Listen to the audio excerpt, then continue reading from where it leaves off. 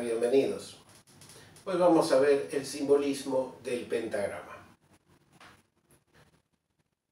Conocemos el pentágono y su abstracción, el pentagrama, a través de la amplia difusión que tuvo entre los pitagóricos. Era además su santo y seña. Dentro del Islam, el simbolismo del pentágono y del pentagrama tiene un valor considerable, dado que el número 5 representa a la letra Ja, y habíamos visto que la letra Ja representa a la seidad, a lo divino. Hay cinco pilares en el Islam. También hay cinco plegarias diarias se reconocen a cinco profetas legisladores y a cinco integrantes de la gente de la casa. Es decir, y podemos encontrar muchos más números 5 dentro de la cosmogonía islámica. Es decir, que este número tiene un valor, una significancia relevante dentro del Islam. La letra Ja tiene un valor 5. Y la figura geométrica que se corresponde con este valor es el pentágono. Ya hemos visto un caso análogo, en el caso de la letra Dal, cuyo valor es 4 y se relaciona con el cuadrado. En el capítulo anterior vimos el simbolismo del cuadrado y del cubo. Aquí tenemos un pentágono al cual le asignaremos, como en el video anterior, un valor de medida. Y ese valor de medida es la unidad, el valor 1. Y de aquí emergen ciertas proporciones significativas en el trazado de las diagonales del pentágono que forman el pentagrama. Tenemos dos valores muy relevantes. El primero de ellos es en el brazo de la estrella, que es el valor 0,618. Y este valor es muy conocido porque corresponde a la sección áurea. También en la antigüedad recibía otro nombre, se le llamaba la divina proporción a ese valor. Y es muy llamativo ese nombre. ¿Por qué se le puso, se le conoció en el medioevo como divina proporción? Quien menciona este nombre es Fray Luca Pacioli en el libro que escribió dedicado a Ludovico Sforza, apodado Ludovico el Moro, acerca de las maravillosas reflexiones que le inspiraban estas proporciones. Fray Luca Pacioli era un franciscano que debió eh, huir del lugar de donde vivía, en, Italia, debió refugiarse en el principado de Ludovico Sforza, dado que entre sus colegas no tenía muy buena aceptación que le enseñara matemáticas.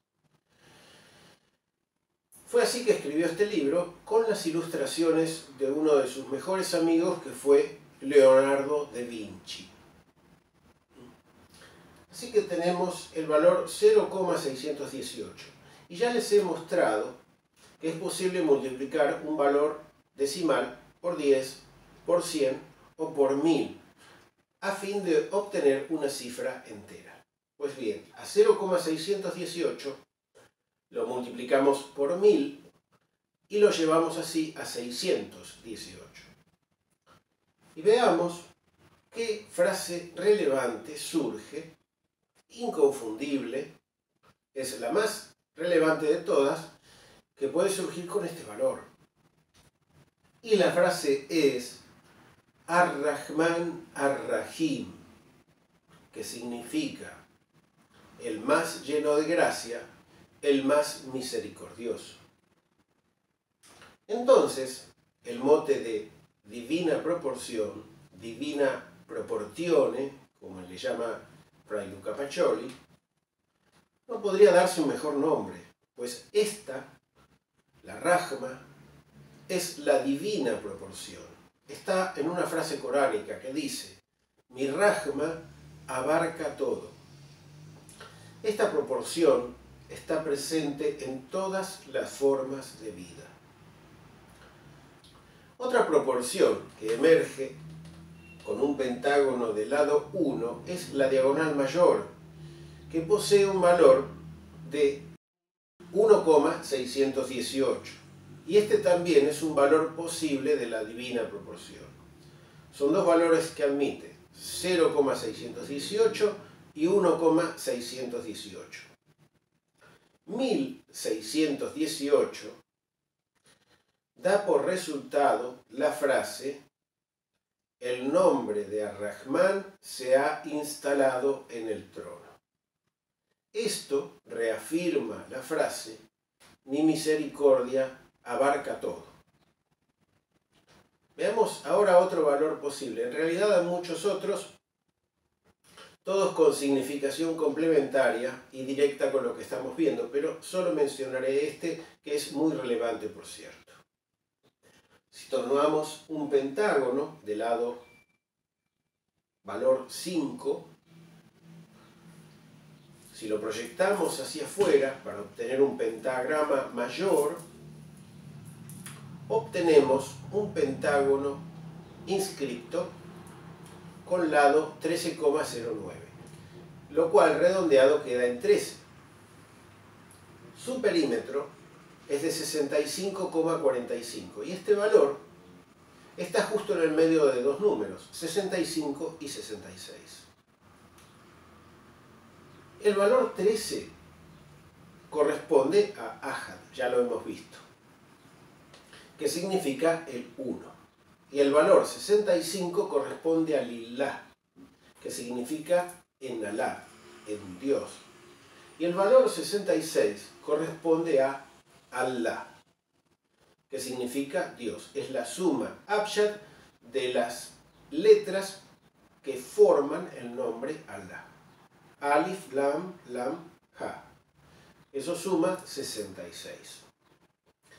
¿Recuerdan que en otros capítulos cité la Sura al-Ikhlas? Pues bien, aquí emerge entonces, de nuevo, la frase más relevante, la realidad absoluta.